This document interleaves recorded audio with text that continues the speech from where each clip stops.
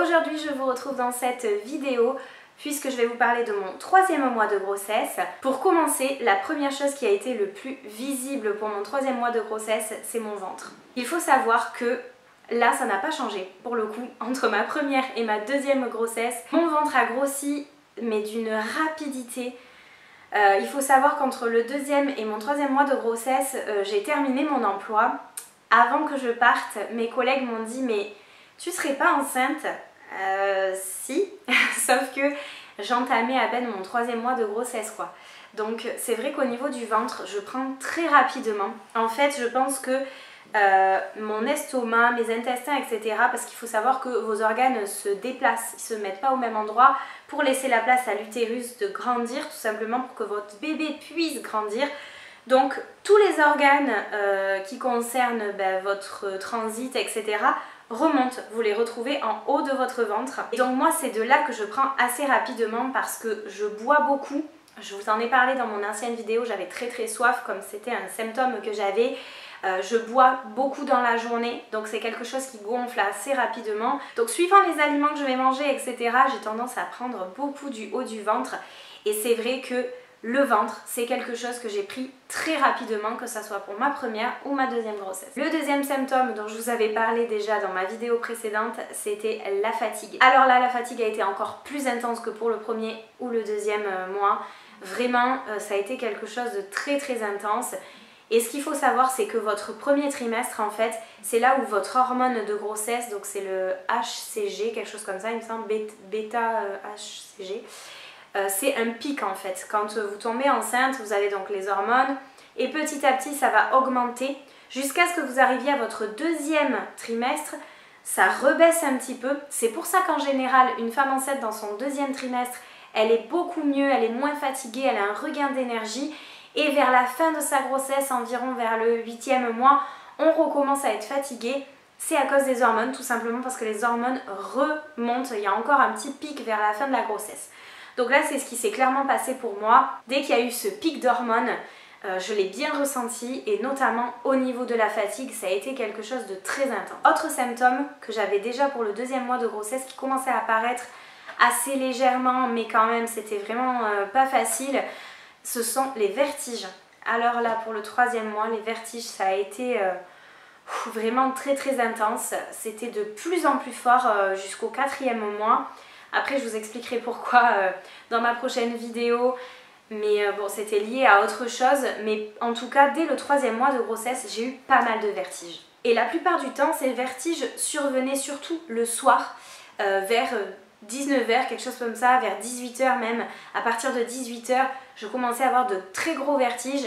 Alors est-ce que c'était lié aussi, puisque je vous en ai parlé dans ma dernière vidéo, au fait que j'avais faim et que je mangeais en plus petite quantité et que j'avais un peu faim du coup Je sais pas trop parce qu'après manger, parfois ça allait mieux, parfois ça n'allait pas mieux. Je sais pas vraiment, en tout cas ces vertiges, ça a été vraiment très compliqué à gérer. Mon appétit pourtant est revenu de façon plutôt normale. Alors je mangeais toujours 4 repas. Vers la fin de mon troisième mois, je suis plutôt revenue à 3 repas. Bon alors après ça a été la débandade, je vous expliquerai tout ça, mais petit à petit c'est revenu... Euh, à la normale en fait. Par contre, j'avais envie de fromage. Alors il faut savoir qu'il y a certains fromages que l'on ne peut pas manger enceinte. J'avais oublié de vous le dire dans la première vidéo.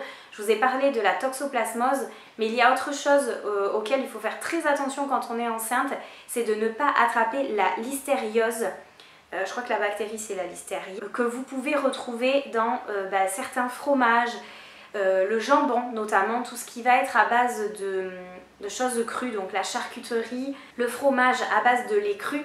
Donc alors moi je suis assez triste parce que j'ai une ferme juste à côté de chez moi, une chèvrerie et le fromage il est délicieux sauf que c'est du lait cru donc euh, je peux plus en manger. Donc je me suis rabattue sur le fromage que j'adorais manger quand j'étais enceinte de mon petit garçon, le kiri. Et c'est quelque chose que je pouvais manger à 4h du matin quand j'avais des nausées. Par contre quelque chose que je n'arrive plus à manger Là ça revient petit à petit mais ça a été très compliqué, j'arrivais plus du tout à manger, c'était la viande. Notamment les viandes que j'ai l'habitude de manger de façon saignante, euh, voire euh, tartare. Euh, bien évidemment c'est des choses comme je vous disais, vu que c'est cru, je ne peux pas en manger enceinte.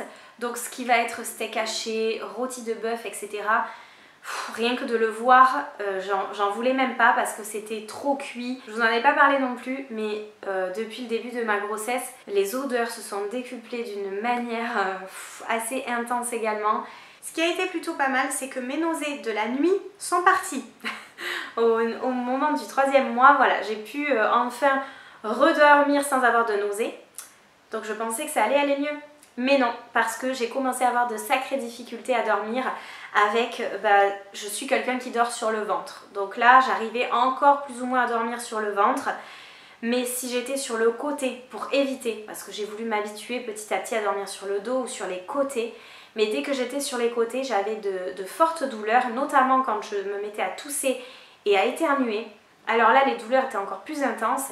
J'en ai parlé à ma gynécologue et à mon médecin et ce sont tout simplement le fait que mes ligaments que tous mes muscles, etc. se préparent euh, pour accueillir ce bébé et donc pour que l'utérus prenne la place. Donc c'est quelque chose qui s'étire et forcément euh, ça peut faire mal. J'ai pu faire au cours de ce troisième mois ma première échographie où on a vraiment vu un visage, des mains, des pieds, un petit corps qui bougeait dans tous les sens. J'ai même vu le cordon ombilical pour le coup. Euh, cette échographie c'était très rigolo parce qu'il n'a pas arrêté de bouger. Alors je dis il sans savoir le sexe. Hein mais je pars du principe le bébé, donc je dis il, je dirais tout le temps il dans les vidéos. Euh, il bougeait énormément et c'était très frustrant de voir ces images. J'avais cet écran, je voyais mon bébé bouger dans tous les sens. Et pourtant, moi, je ne le sentais pas encore puisqu'il était trop petit. Je vous en ai parlé brièvement dans ma première vidéo, mais cette échographie-là, c'est une échographie qu'il faut faire à 12 semaines d'aménorrhée. Puisque c'est une échographie qui permet de calculer la clarté nucale. C'est un petit espace qui se trouve juste là au niveau du, cou euh, de votre bébé. Donc sur l'échographie, ça se voit. C'est quelque chose qui va permettre de dépister la trisomie 21. Donc vous avez une prise de sang à faire également le jour même, c'est mieux. Euh, moi je l'ai faite le lendemain parce que j'avais pas le choix, mais c'est dans les trois jours après votre échographie. Euh, il faut absolument faire cette prise de sang, c'est associé et ils prennent en compte euh, bah, tous les facteurs en fait, si vous fumez, quel âge vous avez, votre poids, etc. Euh, par rapport à cette prise de sang et à la mesure de la clarté nucale, ils calculent, faites partie euh, des personnes qui sont à risque entre guillemets. Voilà pour ce troisième mois de grossesse, les petits symptômes que j'ai pu avoir, etc. qui ont pu changer ou augmenter au fil du temps. J'espère que cette vidéo vous aura plu et je vous dis à bientôt pour une nouvelle vidéo.